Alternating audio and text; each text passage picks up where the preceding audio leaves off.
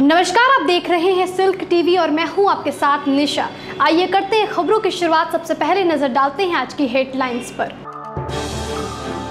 तेज रफ्तार अनियंत्रित ट्रक ने चाचा भतीजे को रौंदा मौके पर हुई दोनों की मौत। आक्रोशित लोगों ने चालक की जमकर की पिटाई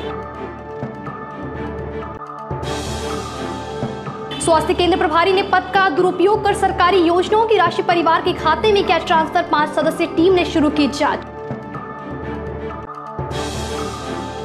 विश्वेश्वरैया भवन में आग और बीपीएससी प्रश्न पत्र लीक मामले में पूर्व सांसद ने सरकार पर खड़े के सवाल, कहा घोटालेबाजों को बचाने के लिए रची गई साजिश। राष्ट्रीय लोक अदालत में 1500 मामले का हुआ निष्पादन 6 करोड़ छिहत्तर लाख की राशि पर हुआ समझौता।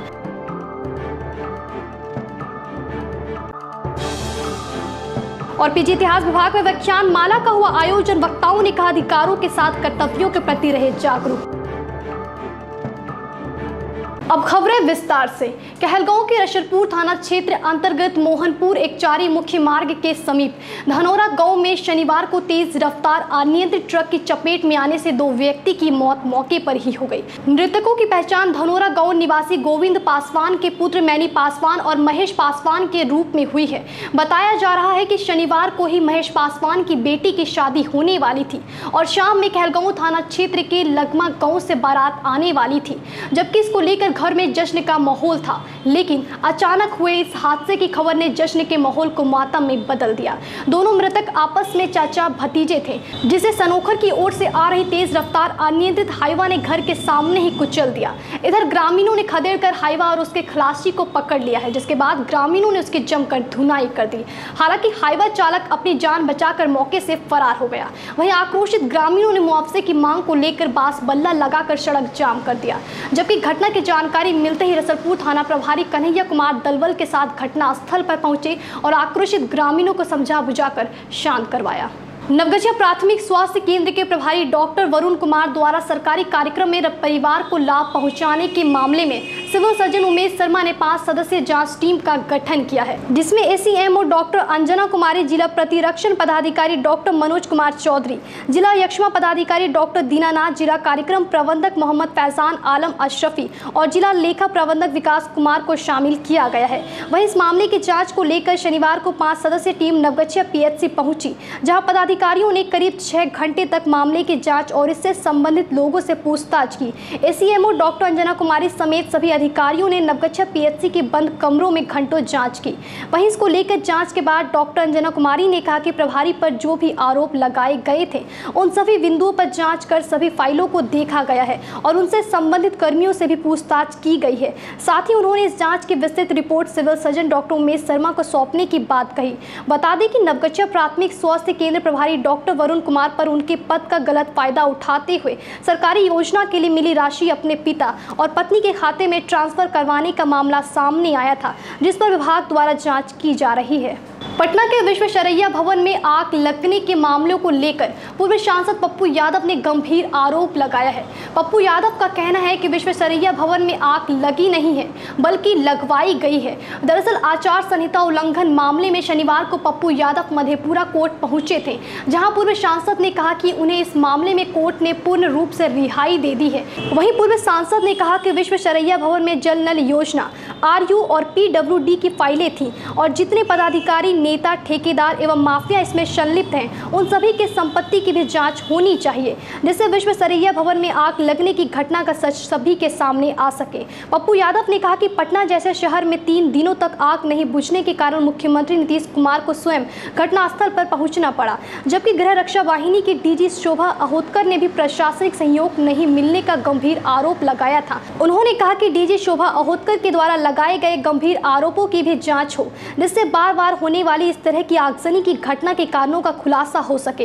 इसके अलावा पप्पू यादव ने बीपीएससी परीक्षा के प्रश्न पत्र लीक मामले पर भी सवाल खड़े करते हुए कहा कि इसमें कौन कौन लोग शामिल हैं इसका पता लगाने के लिए निष्पक्ष जाँच आवश्यक है। ये पाँचवें बार आग लगी है। वर्तमान सरकार के कार्यकाल में और मैं जितना समझता हूँ, ये आग लगी नहीं, आग लगाई गई। इसकी पूरी इंक्वायरी हो, वहाँ जलनल योजना का पूरा फ़ाइल था आरयू का फ़ाइल था पीडब्ल्यूडी का फ़ाइल था। जो जो पदाधिकारी, नेता और ठेकेदार माफिया इसमें इन्वॉल्व थे, उनकी पूरी जाँच, अरबों की संपत्ति और पटना में तीन दिनों तक आग का नहीं बुझना। स्वयं नीतीश कुमार को सामने जाना पड़ा। शोभा अहत्कर जो डीजीपी हैं, उन्होंने गंभीर आरोप लगाए हैं कि प्रशासनिक कॉपरेशन नहीं मिली। शोभा अहत्कर के आरोप की जाँच हो। राष्ट्रीय विधिक सेवा प्राधिकार और बिहार विधिक सेवा प्राधिकार के निर्देश पर शनिवार को भागलपुर व्यवहार न्यायालय परिसर स्थित सभागार में जिला विधिक सेवा प्राधिकार की ओर से राष्ट्रीय लोक अदालत का आयोजन समारोह पूर्वक किया गया। समारोह का उद्घाटन जिला एवं सत्र न्यायाधीश सह डालसा के अध्यक्ष शिव गोपाल मिश्र, जिलाधिकारी सुब्रत कुमार सेन, वरीय पुलिस अधीक्षक Baburam, civil surgeon doctor Umesh Sharma और डॉक्टर हेमशंकर शर्मा ने संयुक्त रूप से दीप प्रज्वलित कर किया। वहीं राष्ट्रीय लोक अदालत उद्घाटन समारोह की अध्यक्षता करते हुए जिला जज शिव गोपाल मिश्र ने कहा कि काफ़ी समय से लंबित मामलों और वादों के निष्पादन के लिए नालसा के निर्देश पर नियमित अंतराल पर देश में राष्ट्रीय लोक अदालत का आयोजन किया जाता है। जिला जज ने कहा कि राष्ट्रीय लोक अदालत में विभिन्न विभागों के अलावा ऋण संबंधी मामले, आपराधिक और पारिवारिक विवाद से जुड़े लंबित मामलों का निष्पादन दोनों पक्ष की सहमति से किया जाता है, जिससे किसी पक्ष की जीत या हार नहीं होती है, जबकि लोगों को आपसी सहमति के आधार पर मुकदमों का निपटारा हो जाता है। इधर जिलाधिकारी से डालसा के उपाध्यक्ष सुब्रत कुमार सेन ने आम लोगों, वादियों और पक्षकारों से राष्ट्रीय लोक अदालत का लाभ लेकर लंबित मामलों से और कोर्ट के चक्कर से छुटकारा पाने की अपील की। साथ ही डीएम ने कहा कि कोर्ट में केस की संख्या अधिक होने के कारण मामलों के निष्पादन में काफ़ी लंबा समय लग जाता है और ऐसे में राष्ट्रीय लोक अदालत के माध्यम से आपसी सुलह के आधार पर बिना किसी खर्च के आसानी से मामलों का निष्पादन किया जा सकता है। इसके अलावा कई पदाधिकारियों और न्यायिक पदाधिकारियों ने कार्यक्रम को संबोधित किया। मंच संचालन रमन कर ने किया। वहीं इसके बाद कोर्ट परिसर में बनाए गए सभी बेंचों पर प्री लिटिगेशन। बैंक ऋण, बिजली बीमा, बीएसएनएल, डाक विभाग, विवाह संबंधी मामलों के अलावे लंबित आपराधिक समनीय मामलों की भी सुनवाई हुई। जिसमें न्यायिक पदाधिकारियों की मौजूदगी में ज़िले के विभिन्न जगहों से आए वादियों, पक्षकारों और अधिवक्ताओं ने हिस्सा लिया। इस दौरान कोर्ट परिसर में काफ़ी भीड़ देखी गई। वहीं इसको लेकर जिला विधिक सेवा प्राधिकार के सचिव अतुल बीर सिंह ने कहा कि शनिवार को हुए राष्ट्रीय लोक अदालत में कुल 1521 मामलों का निष्पादन हुआ, जिसमें कुल छह करोड़ छिहत्तर लाख तीस हज़ार आठ सौ चौंतीस रुपये की राशि पर समझौता हुआ। मौके पर कई न्यायिक पदाधिकारी, अधिवक्ता कोर्ट कर्मी और विभिन्न जगहों से मामलों का निपटारा कराने आए लोग मौजूद रहे। सभी लोगों से जो लिटिगेंट यहाँ आए हैं, मैं उनसे निवेदन करूँगा और उनके अधिवक्ता गण से भी निवेदन भी कंपाउंडेबल केसेस हैं। और जिनके लिटिगेंट्स आए हैं या जिनको आप बुला सकते हैं, उनको बुला करके प्रयास कीजिएगा कि आज कम से कम इस नेशनल लोक अदालत को यदि आप कुछ और ऊंचाइयाँ प्रदान कर सकें तो ये हमारे जो न्यायिक पदाधिकारी यहाँ से अपनी सेवा दे करके जा रहे हैं दूसरे स्टेशन पर, ये उनके लिए एक बेहतर फेयरवेल होगा। हम लोगों ने लगातार पिछले दो नेशनल लोक अदालत में 600 प्लस मुकदमे क्रॉस किए हैं।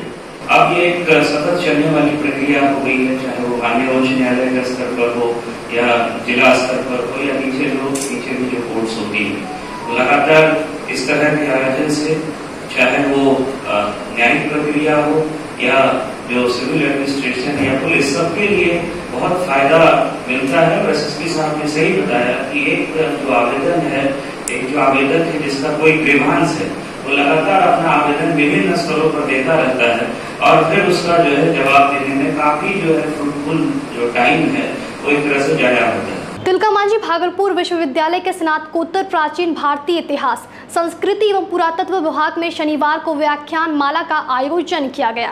कार्यक्रम की शुरुआत कुल गीत से हुई। वहीं विभागाध्यक्ष प्रोफेसर बिहारी लाल चौधरी और छात्र छात्राओं ने मुख्य अतिथि अजीत कुमार सिंह का स्वागत बुके देकर किया। मानवाधिकार विषय पर आयोजित व्याख्यान माला में ह्यूमन राइट्स ऑर्गेनाइजेशन के राज्य सचिव अजीत कुमार सिंह ने मानवाधिकार और कर्तव्य पर विस्तार पूर्वक चर्चा की। अपने संबोधन में अजीत सिंह ने कहा कि अधिकार के साथ कर्तव्य का अनुपालन करने से दूसरे के अधिकार का हनन नहीं होता।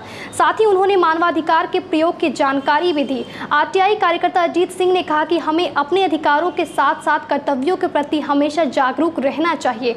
उन्होंने बताया कि सजग रहे बिना अधिकारों की प्राप्ति संभव नहीं है, जबकि एचओडी डॉक्टर बिहारी लाल चौधरी ने मानवाधिकार की प्रासंगिकता पर प्रकाश डाला। मौके पर विभाग के शिक्षक, शोधार्थी एवं काफ़ी संख्या में छात्र छात्राएँ मौजूद थे। आप बोलते हैं कि हम हम मानव हैं। दो शब्द है, मानव और अधिकार। मानव का मतलब हम लोग जितने लोग हैं, ये मानव है होमोसिपियंस और हमको जन्म लेने के साथ ही जो जो अधिकार प्राप्त हुआ है, इसको दोनों को सम्मिलित रूप से मानवाधिकार की संज्ञा दी गई है। और इस पर हम आगे भी चर्चा करेंगे। तो अभी जैसे हम लोग अधिकार और कर्तव्य की बात करते हैं तो अधिकार अधिकार सारे लोग समझते हैं कि ये हमारा अधिकार है, यहाँ हमारा हनन हो गया। लेकिन कर्तव्य की बात हम लोग कम करते हैं। शादी का सीज़न हो और महफिल में विधायक गोपाल मंडल पहुँचे तो माहौल रंगीन होना लाजमी है। लगातार अपनी अतरंगी हरकतों से न्यूज़ और सोशल मीडिया पर छाए रहने वाले भागलपुर के गोपालपुर विधायक गोपाल मंडल एक बार फिर चर्चे में हैं। दरअसल विधायक गोपाल मंडल सबौर के फतेहपुर गाँव में शादी समारोह में शामिल होने गए थे, जहाँ उनका एक वीडियो बार बालाओं के साथ ठुमके लगाते और पैसे लुटाते हुए सामने आया है। वीडियो में विधायक जी बार बालाओं का हाथ पकड़कर स्टेज पर ठुमका लगाते दिख रहे हैं। और ज़रा इनकी अदा तो देखिए यह महाशय, बार बालाओं को फ्लाइंग किस भी देते दिखाई दे रहे हैं। वहीं जब इसके बारे में बात की गई तो उन्होंने कहा कि जब संगीत बजता है तो वो बेकाबू हो जाते हैं और थिरकने लगते हैं। गोपाल मंडल ने कहा कि पिछले दिनों उन्हें मुख्यमंत्री ने भी कॉल कर पूछा था कि आप नाचते क्यों हैं? तो उन्होंने सीएम से कहा कि कलाकार को नाचने से कोई नहीं रोक सकता है। अब तो चला एक छोटे से ब्रेक का फ़ौरन लौटेंगे। देखते रहिए सिल्क टीवी।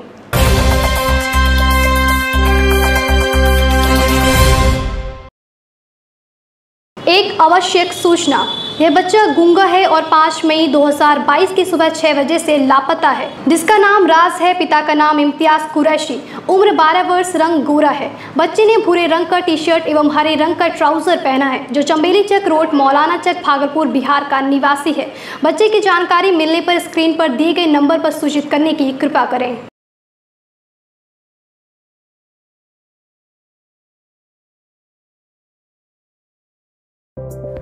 आपके नजदीकी शहर बौसी बिहार में एकमात्र pharmacy college. Modern institute of pharmacy, जिसमें आपको मिलेगी स्मार्ट क्लास, स्मार्ट लैब और लाइब्रेरी जैसी अत्याधुनिक सुविधाएँ।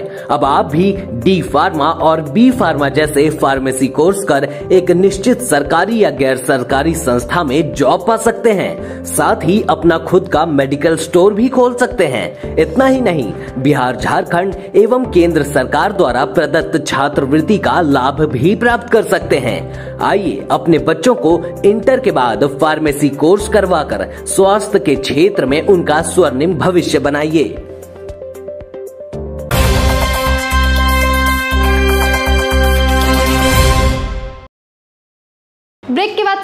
बार आपका स्वागत है। बढ़ते हैं अगली खबर की ओर।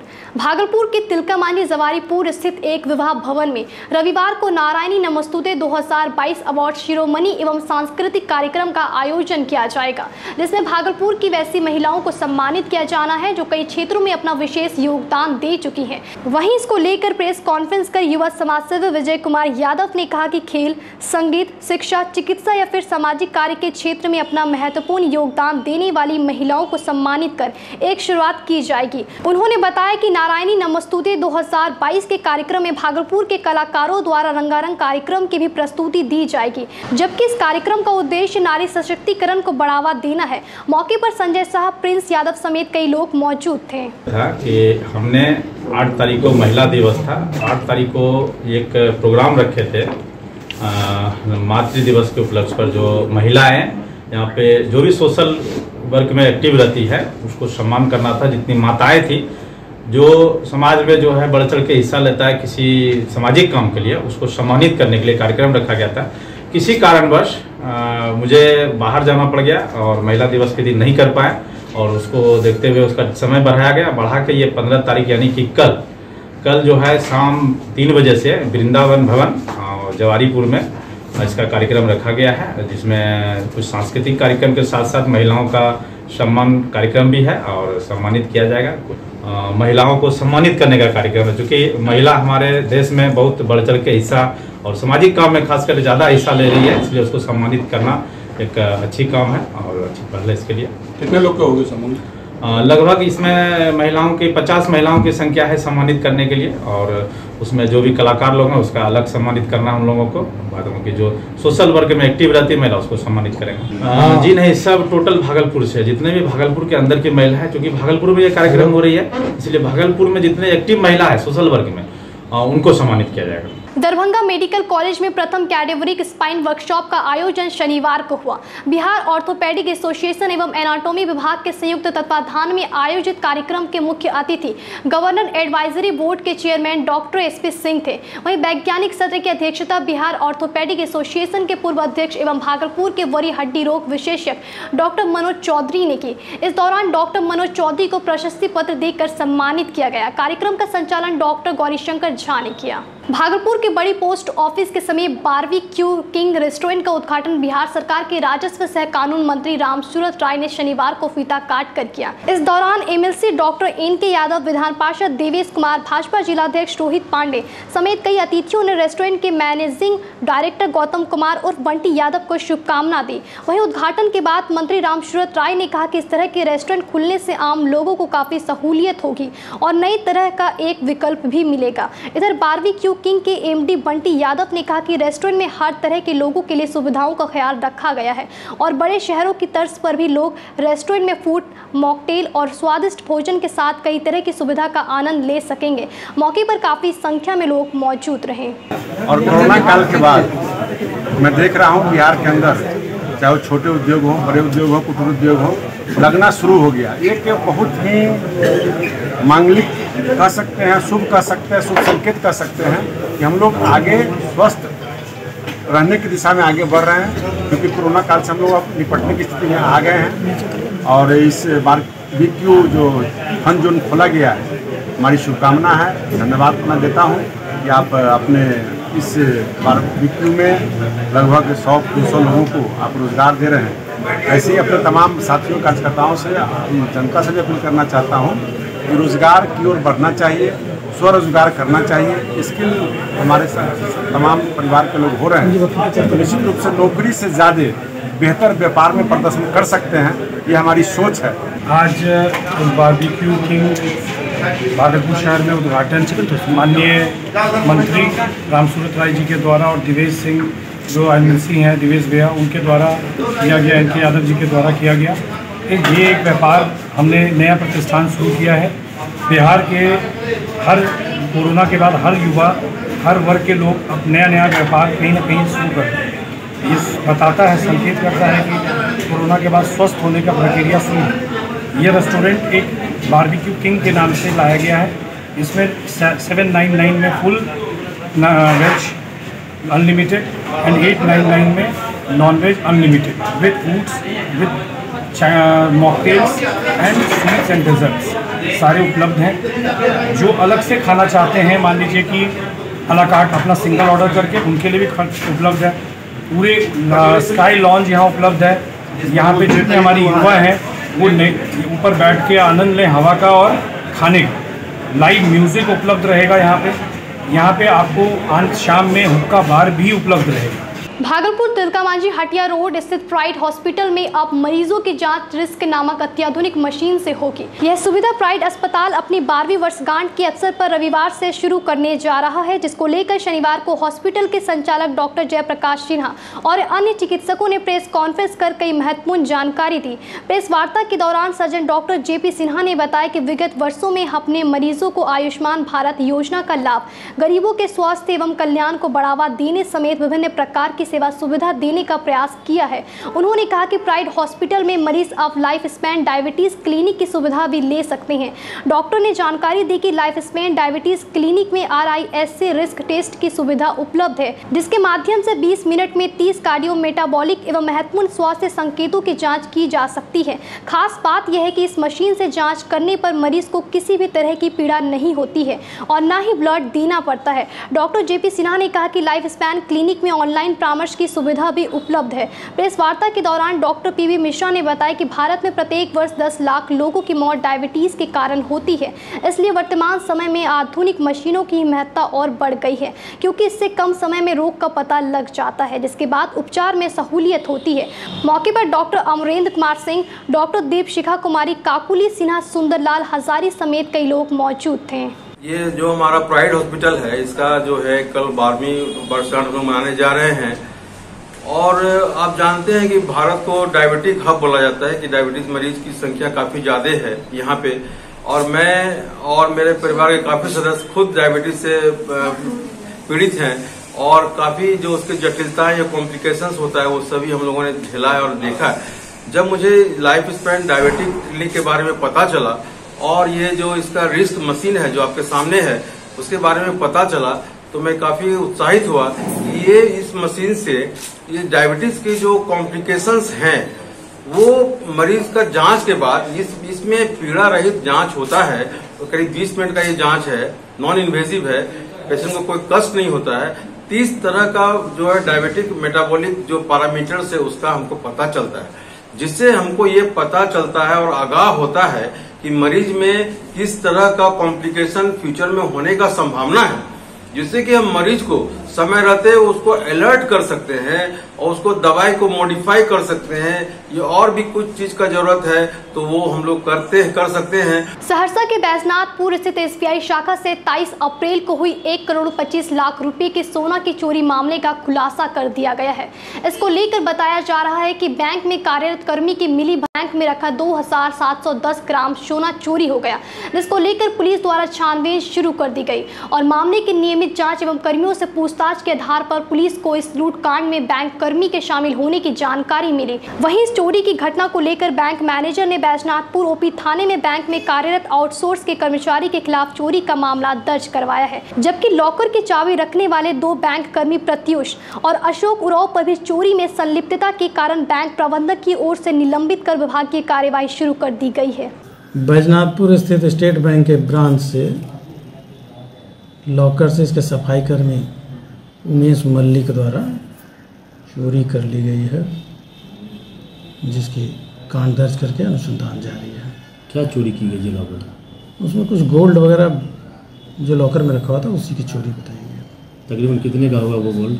वो तो एनालिसिस करने के बाद बैंक वाले लोगों ने बताएगा कोई दिक्कत नहीं। तो इसमें कौन जो मल्लिक जी हैं वो हैं आरोपी या फिर और बैंक के कर्मी भी इसमें और अज्ञात लोग भी है देखते हैं इन्वेस्टिगेशन के बाद पता चलेगा इसमें किस किस लोगों की संलिप्तता है। और तुरंत कार्रवाई करते हुए हम लोग एफआईआर दर्ज किए और जो भी उसमें जहाँ जिनकी जवाबदेही बनती थी तत्काल ज्वाइंट कस्टोडियन उसको इमीडिएट इफ़ेक्ट से उसको सस्पेंड कर दिया गया है, उस ब्रांच से उसको हटा दिया गया है।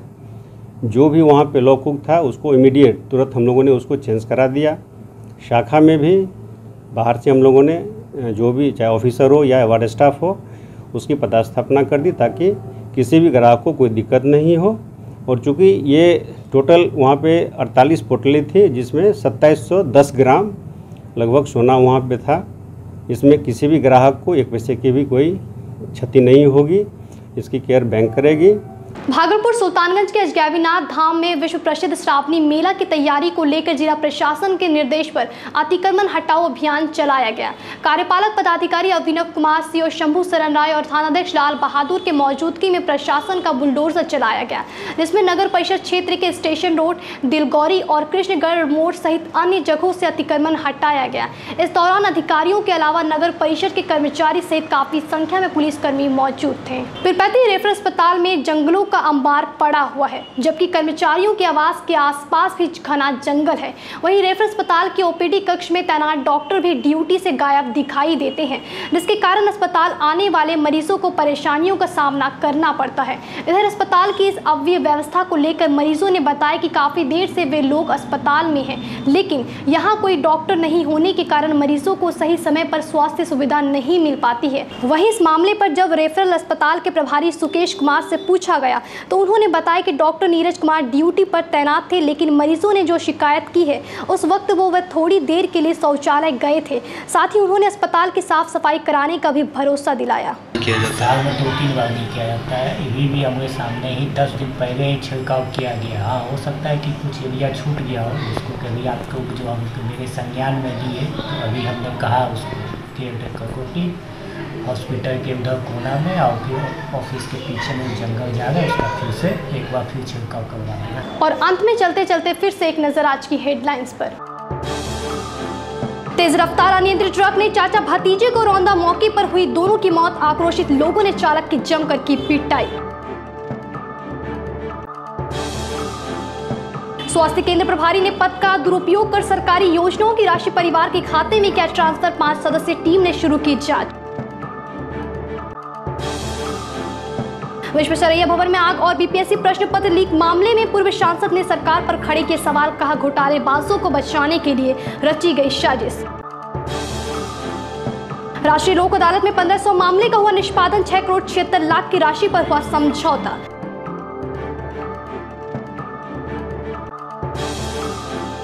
और पीजी इतिहास विभाग में व्याख्यान माला का हुआ आयोजन, वक्ताओं ने कहा अधिकारों के साथ कर्तव्यों के प्रति रहे जागरूक। फ़िलहाल इस बुलेटिन में इतना ही। नमस्कार।